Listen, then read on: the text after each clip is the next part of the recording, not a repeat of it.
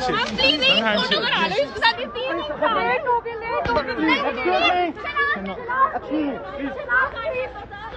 शहनाज गिल की उनके फैंस के साथ ये अनसीन वीडियो सामने आई है, जो आप हमारे इस रिपोर्ट में देख पा रहे होंगे। इस वीडियो के अंदर शहनाज गिल अपने फैंस से सॉरी कह रही हैं और ये कहती हुई नज़र आई हैं कि वो उनके साथ सेल्फीज़ नहीं क्लिक करवा सकती फ़ोटोज़ नहीं क्लिक करवा सकती, क्योंकि वो लेट हो रही हैं और उन्हें जाना है। जैसे कि शहनाज गिल और सिद्धार्थ शुक्ला को देखा भी गया था, चंडीगढ़ से वो बहुत ही जल्दबाजी के अंदर रवाना हो गए थे, अपने फैंस से ज़्यादा मुलाकात वो नहीं कर पाए थे।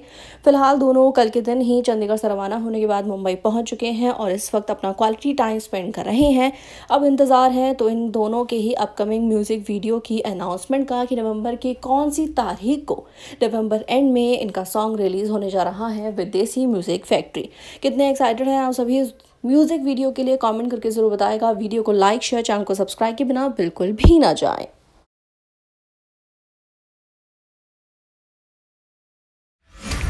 Audio Jungle.